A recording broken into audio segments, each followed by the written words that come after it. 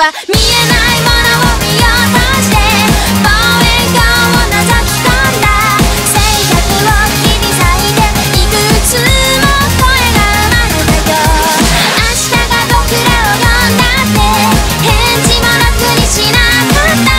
今という褒美星君と二人追いかけて。た Oh